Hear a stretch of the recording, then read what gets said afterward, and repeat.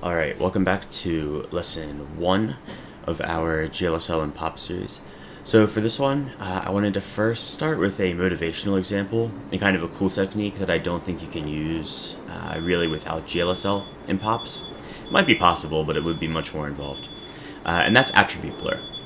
So we'll get into all of that in just a second. First, uh, for those of you who are joining, my name is Lake Heckaman. I'm a new media artist. I'm based in Brooklyn. I create interactive installations to explore interpersonal connection and human perception, and specifically how technology can change those things uh, and how it is changing them each day as we move forward into this brave unknown. Uh, here's some past work that I've created using GLSL. Um, some of these are also using POPs. So just a little bit of the bigger picture and kind of why the, the things that I'm showing you in this course can be very valuable. Now, I talked about this last lesson, but I wanted to mention it again. Why should we use GLSL in POPs and in Touch Designer? Generally, POPs are a really, really great new operator set, and they really allow the expression of a lot more types of dynamics and systems, especially from a three-dimensional ge geometric perspective. That said, sometimes it's kind of hard to follow because there are a lot of different parameters. There's way more tabs, and the logic that you're actually uh, creating and the changes that you're making can sometimes be a little bit difficult to, to suss out. I personally find that scripting through GLSL really benefits me in POP specifically because it gives me a really nice readable script that tells me, okay, this is exactly what happens. This attribute is being used in this way to affect this, which is then used in that, and this ultimately is the result. I love that. It makes it a lot more reasonable and uh, efficient for me to go back and pick up projects where I left off, etc.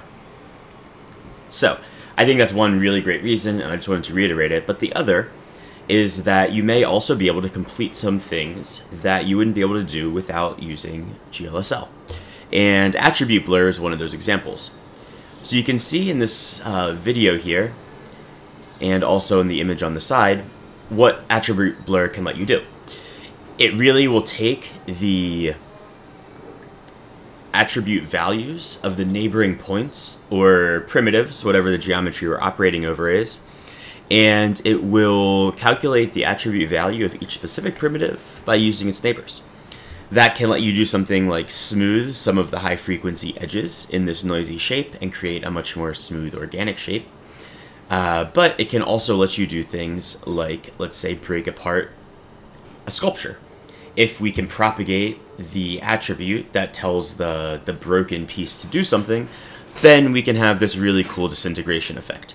And this I actually built myself uh, using the very same algorithm that we're going to be working on today. And last, there's this uh, other example that I wanted to show you, which is very similar, but again, just some more motivation for how this technique can be useful. So let's go back to our screen, and then we'll come to our last slide of the lecture series. It's going to be or sorry, last slide of the lecture for today. Going to be a little bit shorter and more focused on TD. But I did want to go through what the attribute blur algorithm actually does, some pseudocode for it, and a very, very trivial example. So, the pseudocode, as I said, is find the neighboring geometry, whether that's points or primitives, uh, read in the attribute values, whatever attribute we are, are particularly interested in, and then use a function to calculate the current geometry's attribute based on the values of its neighbors.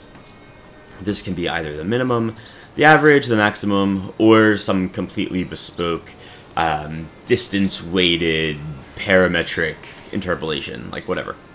Um, so, as you can see on the right then, uh, is a very simple example. Let's pretend we had a grid, and our grid had points or quads that each had attributes. In this case, I just assigned some arbitrary values. And the point is, if we're calculating using attribute blur, the attribute value for the red quad, that value would be 5 if we were using the max operation. It would be negative 1 if we were using the min operation, and it would be 1.1 if we were using the average. So all of those are obviously quite different, and your specific use case will dictate the algorithm that you choose to use.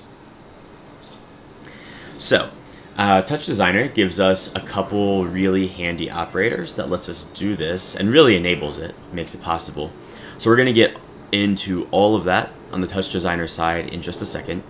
I am going to end this video for non-subscribers and if you're interested in following along further please go subscribe on Patreon and you can find this entire lecture as well as the project files available uh, for this the rest of the courses in this, uh, or sorry, the rest of the lessons in this course, as well as my prior GLSL 101 for Touch Designer course, uh, and like dozens and dozens of other tutorials uh, that I've made. So go check it out there to continue following along. And for those of you that already do, thank you incredibly for your support. And let's jump into it.